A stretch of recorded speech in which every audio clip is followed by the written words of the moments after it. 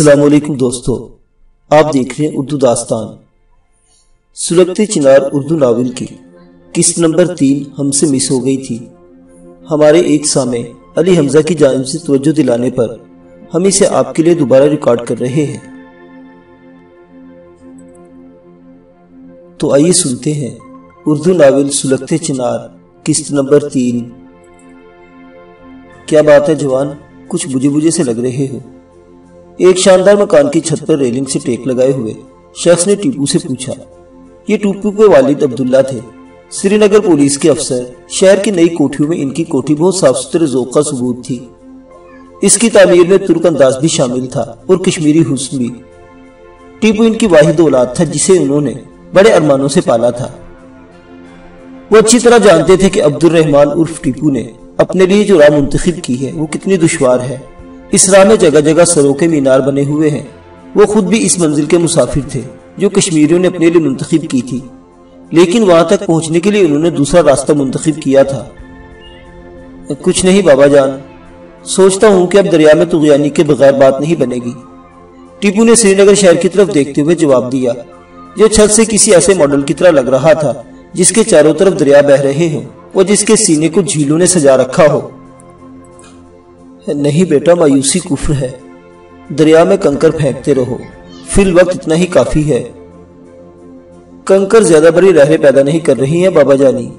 ٹیپو نے ایک طویل سانس لے کر جواب دیا، جو اس وقت اس کی نظریں دور دریا جہلم کے موڑ پر جم گئی تھی، جہاں دریا کے ساتھ ساتھ چپٹی چھتوں والے بے شمار مکانات نظر آ رہے تھے۔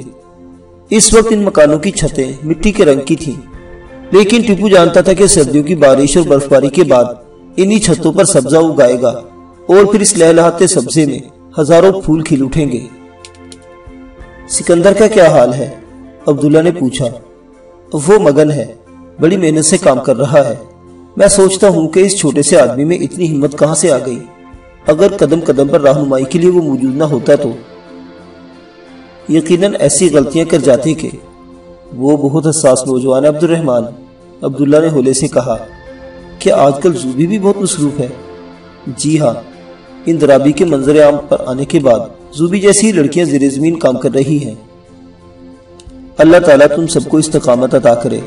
عبداللہ نے ایک طویل سانس لے کر کہا اور پھر اگلے ہی لمبے پلٹ کے عبد الرحمان ایک بات ضروری یاد آ گئی۔ کل نیا D I G Ashok Pandey charge لے رہا ہے، ذرا ہوشیار رہنا۔ اب تو ہم سائے سے بھی ہوشیار رہنے پر مجبور ہے بابا۔ حشمت مانگلو نے تو مروانے میں کوئی کسر نہیں چھوڑی تھی۔ ٹیپو نے ایک طویل سانس لی اور سر جھٹک کر رہ گیا۔ اسی لمبے نیچے پہنچ میں ایک پائلٹ موٹر سائیکل ہارن بجاتی ہوئی داخل ہو گئی۔ ہم عبداللہ نے شانے جھکا دیے۔ میرا خیال ہے کہ وہ آگئے ہیں۔ میں نے پیشکش کی تھی کہ میں خود حاضر ہو جاؤں گا، لیکن آج کل زیادہ ہی بے تکلفی کا مظاہرہ کر رہے ہیں۔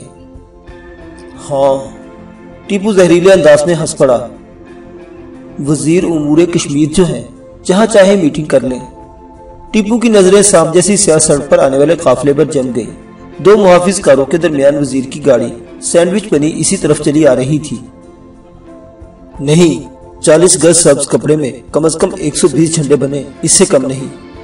زوبی نے میز پر ہاتھ مار کر اعلان کیا تو پرچم سینے والی نور بی بھی اچھل پڑی۔ ایک سو بیس؟ کیا تم ایک ہزار کہہ لو، میں بنا دوں گی؟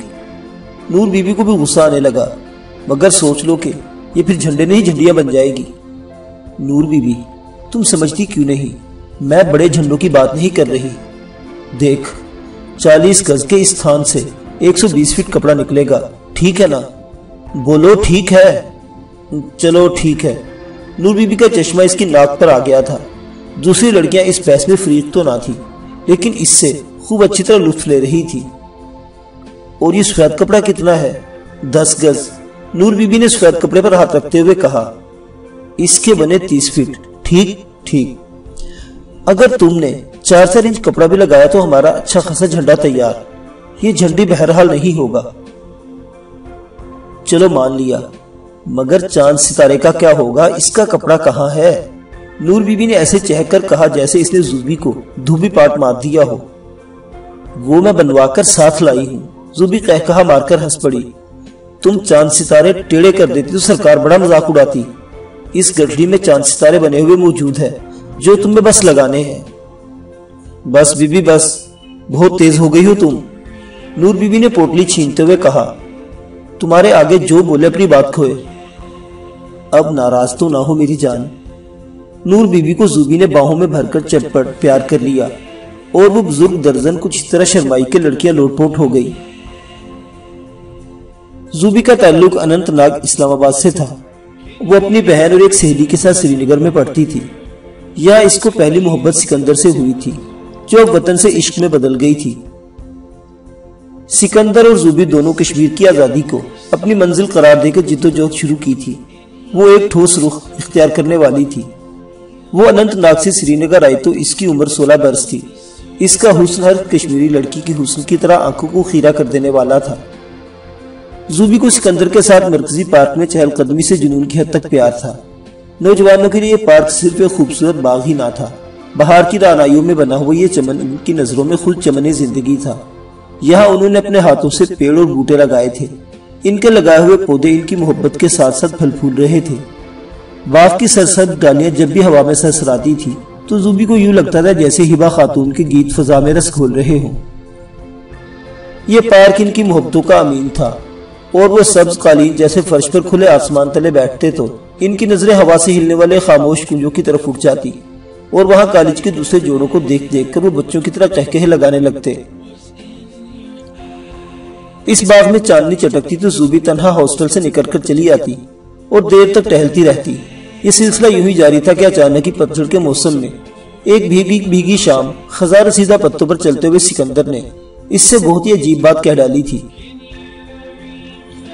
زوبی، تمہیں پتا ہے کہ میں تم سے کتنی محبت کرتا ہوں۔ ہاں مجھے پتا ہے، وہ ہنس کر بولی تھی۔ تم مجھے سب سے زیادہ چاہتے ہو۔ اگر میں یہ کہوں کہ تمہارا اندازہ غلط ہے تو پھر۔ وہ چر مراتے ہوئے پتوں پر رک کر بولا تھا۔ تب میں اس کا نام ضرور پوچھوں گی، جسے تم سے، جسے تمہیں سب سے زیادہ پیار ہے۔ میں اس کا نام ضرور بتاؤں گا، زوبی جان۔ سکندر نے گہری بری آنکھوں اور سیاہ بالوں والی اس لڑکی کی طرح بغور دیکھ کر کہا تھا۔ جس نے سب کچھ سن کر بھی روایتی ہنگامہ کھڑا نہیں کیا تھا۔ سنو، اس کا نام ہے کشمیر۔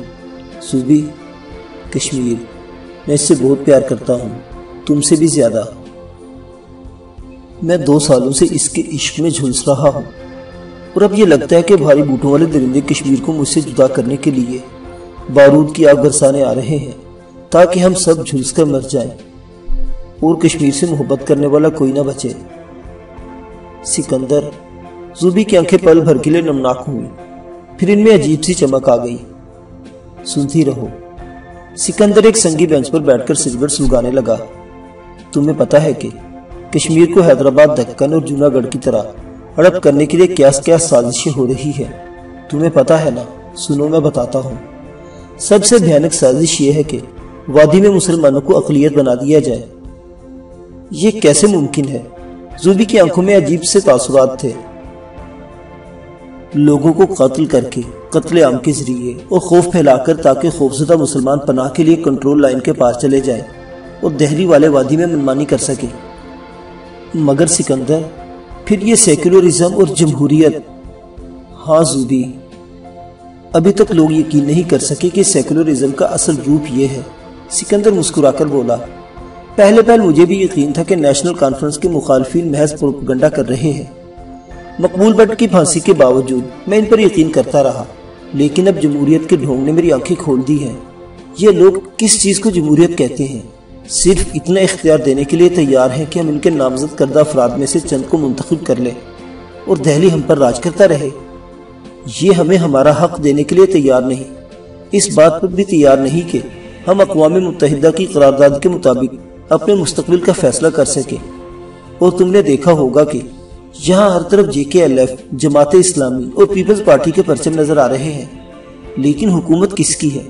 میں کہتا ہوں کہ زوبی سنتی رہی، سکندر کی باتیں دل میں اتر رہی تھی، روح میں گھر کر رہی تھی۔ اسے ایسا لگ رہا تھا جیسے سکندر کے قرب نے رگوں میں خمار کے بجائے بیداری پیدا کرتی ہو۔ ایسی بیداری جو کل ایک بالکل نئے پن کا احساس دلا رہی تھی۔ یہ احساس کے گہری نیند کے مارو وقت آ گیا ہے، اٹھ بیٹھو۔ سلگتے چنار تمہیں روشن راہ دکھا رہے ہیں، اس راستے پر چل دو۔ سکندر نے بات ختم کرنے والے انداز میں دوسری سگریٹ نکالی۔ تبھی زوبی کو یہ احساس ہوا کہ شام ڈھلنے لگی ہے۔ میں بہت اچھی طرح سمجھ گئی ہوں، سکندر۔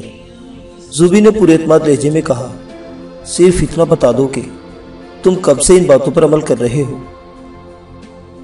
زیادہ عرصہ تو نہیں ہوا، سکندر مسکرانے لگا۔ اور اس دوران تم نے مجھے یہ سب کچھ نہیں بتایا۔ کئی بار بتانا چاہا، لیکن یہ سوچ کر چپ رہا کہ تم رومان پسند ہو شاید۔ سکندر، وہ احتجاج کرنے والے انداز میں غرائی میں رومان پسند ضرور ہوں، لیکن اتنی گئی گزری بھی نہیں کہ ہم تنہا اتنے کٹھن راستے پر چلتے رہو۔ میں تنہا نہیں جان اس بار وہ واقعی ہنس پڑا۔ میں تو ایک بہت بڑے قافلے میں شامل ہوں جو مسلسل آگے بڑھ رہا ہے۔ اب اس قافلے میں زوبی بھی شامل ہو رہی ہے۔ آئندہ تم جو کہو گے وہی کروں گی۔ نہیں، میں کچھ نہیں کہوں گا۔ جو کشمیر کہے گا تم وہی کرو گی۔ ٹھیک ہے، زوبی کی آواز بھر رہا گئی۔ مگر مجھے سکھاتے رہنا سکندر۔ ابھی تو مجھے کچھ بھی معلوم نہیں۔ فی الحال میں خود سیکھ رہا ہوں، اچھی لڑکی۔ سکندر کا لہجہ اس بار بہت سنجیدہ تھا۔ سیکھنے کے لیے تمہیں عائشہ جمیل کے پاس جانا ہوگا۔ میں تمہارا تعارف کرا چکا ہوں۔ کیا مطلب؟ زوبی اچھل پڑی۔ کیا ہماری کلاس فیلو عائشہ جمیل بھی؟ ہاں درست، وہی لڑکیوں کو منظم کر رہی ہے۔ میرے اللہ، میں تم سب سے کتنی پیچھے رہ گئی ہوں۔ وہ رو پڑی۔ سکندر اس کا شانہ تھپ تھپانے لگا۔ وہ جانتا تھا کہ زوبی کی رگوں میں باغ دوڑ رہی ہے۔ اور وہ جلد ہی سب سے آگے نکل جائے گی۔ اشرف جی کپڑا کم پڑ جائے گا۔ سعید نامی ساتھی نے اشرف ڈار سے کہا جو اپنی گنی داڑی کو ترتیب دے رہا تھا۔ اشرف کی فراخ پیشانی چمک رہی تھی۔ اس وقت وہ ماگام سکول کے عمارت سے ذرا دور اپنے ٹھکانے پر بیٹھے ہوئے تھے۔ یہاں پاکستانی پرچم کی سلائی زوروں پر تھی۔ ان کے بالکل سامنے سری نگر گلمرگ شاہراہ تھی۔ سفیدوں والی سڑک۔ یہاں دور دور تک سفیدے کے درخت صفے باندھے ہوئے تھے۔ یہ سڑک ماگام کے بیچ سے اس طرح گزرتی تھی، جیسے کسی سیاہ چشم کی زلفوں کی مانگ۔ اشرف ڈار چھلاوا تھا۔ لوگ کہتے تھے کہ شمس الحق نے اس لڑکے کو ہمت و شجاعت کا پیکر بنا دیا ہے۔ یہ وہی شمس الحق تھے جن کو بعد میں کمانڈر شمس الحق کہا گیا اور جن کے نام سے بھارتی فوجی تھرانے لگے۔ فکر نہ کرو سعید، آج کا کام چلا لو، کل کپڑا آ جائے گا۔ اشرف ڈار نے اپنی کلاشن کوف پر ہاتھ پھیرتے ہوئے کہا یہ کلاشن کوف کبھی کمار استعمال ہوتی تھی، لیکن اشرف جانتا تھا کہ اب اس کے عموماً استعمال ہونے کا وقت آ رہا ہے۔ ہم چاہتے ہیں کہ سارا راستہ سب زلالی پرچم سے سجا دیں فاروق نے بڑے جذباتی انداز میں کہا، ایسا ہی کرو یارو۔ اشرف نے کہکہ لگاتے ہوئے جواب دیا، بالکل ایسا ہی ہونا چاہیے، تاکہ دشمن کو اندازہ ہو جائے کہ اب شیروں نے انگڑائی لے لی ہے۔ مجھے یاد ہے، جب اشرف جی نے پہلی مرتبہ انیس سو انیس سو چوراسی میں اپنے اسکول پر پاکستانی جھنڈا لگا کر اسے اسلامی دی تھی۔ سعید نے بازی میں کھوتے ہوئے کہا، پرنسپل ہندو تھا۔ اس نے قیامت مچا دی تھی کہ کیا زبردست دن تھا۔ وہ اشرف جی نے چودہ اگست کو پاکستانی پرچم لہرایا۔ ہم سب نے اسے اسلامی دی۔ اور پرنسپل پاکستان زندہ باد کے نعرے سن کر گھبراتا ہوا باہر آیا تو جھنڈا دیکھ کر دھوتی اس کے ہاتھوں سے نکل گئی۔ ہاں فاروق نے موزر صاف کرتے ہوئے سر ہی لایا اس کے بعد اشرف کو تو اسکول سے نکال دیا گیا تھا۔ کتنے بہت سے مقدمے قائم ہوئے تھے، اللہ کی پناہ۔ سعید بولا۔ ارے چھوڑو یار، یہ مقدمے اور الزامات اپنے لیے تو نشان حیدر ہے اشرف نے ہنس کر کہا، اب کام کی بات کرو۔ یہ بتاؤ کہ اسلحہ کا کیا انتظام ہوا۔ ایک پولیس والے سے بات ہوئی ہے۔ اس نے یوم آزادی سے قبل مطلوبہ سامان کی فراہمی کا وعدہ کر لیا ہے۔ پر وہ ساری رقم نقد مانگتا ہے۔ فاروق نے جواب دیا، رقم مل جائے گی۔ میں نے القدس یونٹ سے بات کی ہے، وہ کل تک چیک کیش کرا لیں گے۔ اشرف کی اس معنی خیز بات پر سبھی ہنس پڑے۔ وہ اچھی طرح جانتے تھے کہ القدس یونٹ کے جیالے رقم کیسے حاصل کریں گے۔ کنگن پلوامہ کی عبد الرشید زرگر نے بڑی تمانیت سے سر ہلاتے ہوئے ان کئی پوٹریوں کو دیکھا جن میں پاکستانی پرچم تیار ہو کر باندھ دیے گئے تھے۔ سامان تیار ہے لڑکوں۔ عبد الرشید نے بڑے فخر سے کہا، تمہاری ماؤں بہنوں نے دن رات ایک کر کے پرچم تیار کیے ہیں۔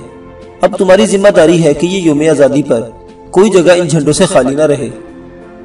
ہم نے سب انتظام کر لیا ہے، چاچا جی۔ عبد الرشید کے بھتیجے نے جواب دیا۔ وہ بلند قامت نوجوان تھا۔ بچپن سے زدی مشہور تھا، لیکن جب سے تحریک آزادی میں شامل ہوا تھا، ساری زد ڈسپلن کے سامنے جھاگ کی طرح بیٹھ گئی تھی۔ آپ صبح آزادی پاکستان طلوع ہونے دے پھر خود دیکھ لیں گے۔ شاباش، عبد الرشید کو یوں لگا جیسے اس کی ساری محنت وصول ہو رہی ہو۔ دیکھو بچوں میں چودہ اگست کو یوم آزادی اور پندرہ اگست کو یوم سیاہ منانے کی اپیل والے پمفلٹ لے کر نیو خندہ جا رہا ہوں۔ غلام محی الدین آزم بھی میرے ساتھ ہوں گے۔ پیچھے ذرا خیال رکھنا۔ تسی فکر نہ کرو جی سلیم پہلوان نامی لڑکے نے ہنس کر کہا، اس کا تعلق جے کے ایل ایف سے تھا۔ اب ہم بھی جوان ہو رہے ہیں، سارا کام جانتے ہیں۔ جاؤ، اللہ بیلی، پر پکڑائی نہ دینا۔ عبد الرشید زرگر گریجویٹ تھا۔ اس نے ڈگری کالج پلوامہ ہی سے بی اے کیا تھا۔ زمانہ طالب علمی میں اسلامک سٹوڈنٹ لیگز میں شامل رہتے ہوئے اس نے بہت کچھ سیکھا تھا۔ اسے یہ شعور بھی حاصل نہ ہوا تھا کہ دہلی کے حکمراں کشمیر کو کس طرح غلام بنائے رکھنا چاہتے ہیں۔ اسی باعث اس نے آزادی کی جد و جہد میں شمولیت اختیار کر لی تھی۔ اس جرم میں سات فروری انیس سو پچاسی کو وہ پہلی مرتبہ گرفتار ہوا تھا۔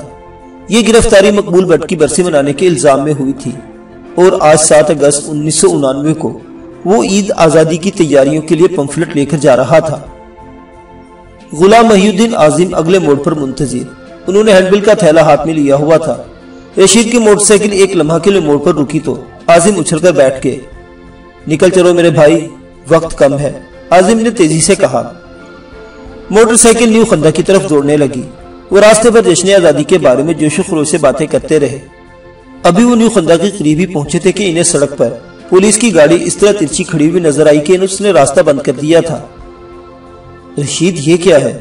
عظیم نے خبردار کرنے والے انداز میں کہا، موٹر سائیکل واپس موڑ لو، پکڑنڈی پر ڈال دو۔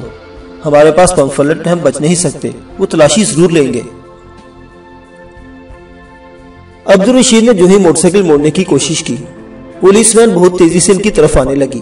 اب فرار کی کوئی راہ نہ تھی، انہیں رکنا پڑا۔ اوہو، تو یہ تم ہو زرگر۔ ایک پولیس والے نے وین سے کودتے نعرہ مارا۔ اس کا لہجہ بہت زہریلا تھا۔ اور یہ تم ہو جلال الدین۔ عبد الرشید زرگر نے بھی پولیس والے کو پہچان لیا۔ یہ بدبخت حریت پسندوں کا جانی دشمن تھا۔ ہاں رشید جی یہ میں ہوں۔ دہلی سرکار کا نمک خوار۔ سینہ پھلا کر وہ بولا، یہ وہی سپاہی تھا جس نے انیس سو پچاسی میں اونتی پورا تھانے میں رشید پر تشدد کا آغاز کیا تھا۔ جلال، ان کی اچھی طرح تلاشی لے لو۔ پولیس افسر نے حکم دیا، اس وقت تک باقی پولیس والے موٹر سائیکل کے گر رائفلیں تان کر پوزیشن لے چکے تھے۔ تلاشی کیا لینی ہے جی؟ جلال الدین چہر کر بولا، پرانے پاپی ہیں۔ یہ زرگر پہلے، یہ زرگر پہلے۔ سید شیرشاہ کے ساتھ تھا۔ اور اب سنا ہے کہ سید علی شاہ گیلانی کا دم بھرتا ہے۔ ہمیں پاپی مت کہو، خبیص آدمی۔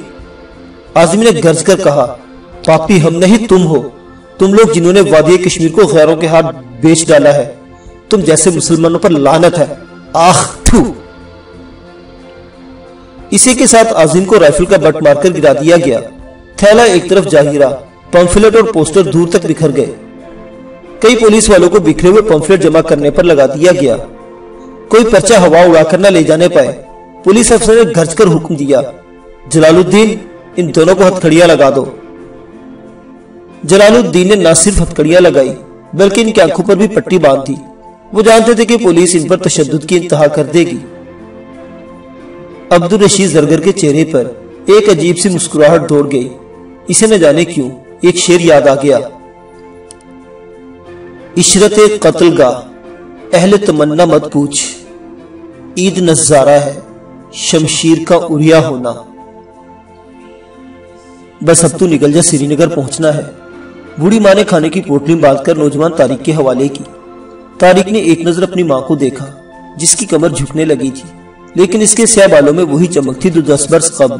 ماں جی کی آنکھیں بہت بڑی اور کالی تھی ان آنکھوں کو دیکھ کر نہ جانے کیوں کسی بڑے جنگلی پرندے کا خیال آ جاتا تھا۔ ہاں بیٹا، تیرے لوگ انتظار کر رہے ہوں گے۔ باپ نے سر پر ہاتھ پھیر کر کہا، وہ اپنی بیوی کے پیچھے کھڑا ہوا تھا۔ اس کے بڑے بڑے ہاتھ بہت بوجھل انداز میں پہلوں سے لٹکے ہوئے تھے۔ چاند گنجی ہو رہی تھی، لیکن گدھی اور کنپٹیوں پر جوانی کے کالے بال اب بھی نمایاں تھے۔ ان کے برعکس فوجیوں جیسی موچھے موچھوں پر برفسی گری ہوئی تھی۔ تاریخ جموں کے اس گروپ میں شامل تھا۔ جسے چودہ اگست کو سری نگر جا کر سلامی دینی تھی۔ اس کا انتخاب اس خاندان کے لیے بڑا اعزاز تھا۔ وہ بھی محض چھ مہینے قبل تربیت حاصل کر کے آیا تھا۔ ابھی ایک گھنٹے پہلے کون آیا تھا بابا؟ تاریخ نے کمیز کے بٹن لگاتے ہوئے پوچھا، ارے کوئی نہیں، ریزیڈنسی روڈ تھانے کا آدمی تھا۔ کہتا تھا کہ تاریخ کو جلدی واپس بھیج دو، چھاپے شروع ہونے والے ہیں۔ سابق فوجی نے ہاتھ لہرا کر اس طرح کہا، جیسے کوئی خاص بات نہ ہو۔ نوجوان تاریخ ماں باپ سے مل کر باہر نکلا۔ اور پھر تیزی سے دائیں جانب چل دیا۔ اسے اچھی طرح علم تھا کہ باقی ساتھی روشن شاہ ولی کے مزار پر موجود ہوں گے۔ وہ ان میں غیاس سے اچھی طرح واقف تھا۔ درختوں کے جھنڈ کے پیچھے کہیں اوپر سے سلیمان کو چھوٹی بہن کی باریک آواز سنائی دی تو اس کے قدم رک گئے۔ چندی لمحوں بعد رابعہ پھولوں سے لدی جھاڑیوں میں سے راستہ بناتی ہوئی نظر آئی۔ وہ کشمیری کمیز پہنے ہوئے تھی، جبکہ اس کی انگلی میں انگوٹھی کسی نگینے کی طرح چمک رہی تھی۔ کمیز کے گریبان اور آستینوں پر کشادہ کاری تھی کشیدہ کاری تھی، جبکہ رابعہ کا گلابی رنگ اس سرخ کمیز میں بہت کھل رہا تھا۔ کمال ہے، سلیمان نے ہنس کر کہا، میں نے آواز تو روبینہ کی سنی تھی، تم کہاں سے ٹپک پڑی؟ میں ٹپکی نہیں، ٹپکائی گئی ہوں۔ رابع نے اداس انداز میں مسکرا کر جواب دیا ماں جی نے خاص طور پر ہدایت کی تھی کہ میں پہلگام سے تمہاری روانگی کے وقت باغ میں موجود رہوں۔ میرے لیے دعا کرنا رابی۔ سلیمان نے اس کا ہاتھ تھام لیا۔ ہاں میں تمہارے لیے سب کے لیے دعا کروں گی۔ رابعہ کی آواز بھر را گئی۔ ہم عورتیں محاذ پر جانے والوں کے لیے دعا ہی کر سکتی ہیں۔ ہمارے بس میں اور کیا ہے؟ نہیں، اب ہمیں تمہاری دعاؤں کے ساتھ ساتھ تمہارے عملی اقدامات کی بھی ضرورت ہوگی۔ تم میری غیر موجودگی میں اگر یہاں کچھ کر سکو، تو یہ بہت زبردست کام ہو جائے گا رابی۔ میں جانتی ہوں۔ اور تمہیں یہی بتانے آئی ہوں کہ میں نرسنگ کے کورس میں داخلہ لے لوں گی۔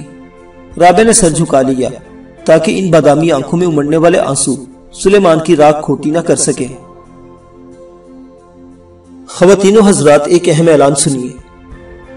مغرب کی نماز ختم ہوتے ہی زینہ قدل کے قریب جامع مسجد کے لاؤڈ سپیکروں سے یہ نکلی تو پتھر مسجد، باغ مری محل، جھیل مانسل، حضوری باغ، جھیل وولر، بنوارو۔ بارہ مولا باغام بٹ مالو سوپور خانکہ مولا حضرت بل گل مرگ، صفا قدل بٹ گام دتا گام ہندواڑا چوگام، پلوامہ دور دور تک اس کی بازگیں سنائی دینے لگی۔ تمام مساجد سے ایک ہی وقت ایک ہی اعلان ہو رہا تھا۔ کل چودہ اگست، جشن آزادی پاکستان، ہماری عید۔ میں مجاہدین کی تمام تنظیموں کی طرف سے کشمیری عوام کو اس موقع پر مبارکباد پیش کرتا ہوں۔ کل اس مبارک دن ہم نے پرچم پاکستان لہرانے اور سلامی دینے کا فیصلہ کیا ہے۔ اس سلسلے میں پریڈ بھی ہوگی۔ میں تمام مجاہدین سے درخواست کرتا ہوں کہ وہ اس اعلان کے ساتھ ہی اپنی اپنی جگہ سے اپنے لیے مخصوص مقامات کی طرف روانہ ہو جائے اللہ ہمارا حامی و ناصر ہو۔ اس کے ساتھ سری نگر میں ٹریفک اچانک ہی بڑھنے لگی۔ بسوں اور ٹرکوں سے اتر کر مجاہدین مختلف علاقوں میں جانے لگے۔ جبر کی نمائندگی کرنے والی پولیس اور سینٹرل ریزرو پولیس بھی حرکت میں آ گئی۔ تاریخ نے نئی کروٹ بدل لی۔ اولاد ابراہیم کو ایک بار پھر آگ کے لیے تیار ہو جانا پڑا۔ اس وقت ٹیپو سکندر اور زوبی پاکستان پریڈ کے لیے آخری تیاریاں کر رہے تھے۔ دوسری طرف ایک اور سرفروش اشفاق مجید وانی بھی پرچم پاکستان لہرانے کی اس تقریب کی تیاریوں کو آخری شکل دے رہا تھا۔ معزز سامین حضرات جد و جہد آزادی کشمیر کے ابتدائی دور کی یہ داستان ابھی جاری ہے۔ بقیہ واقعات اگلی قسط میں۔ دیکھتے رہیے اردو داستان۔ اللہ حافظ۔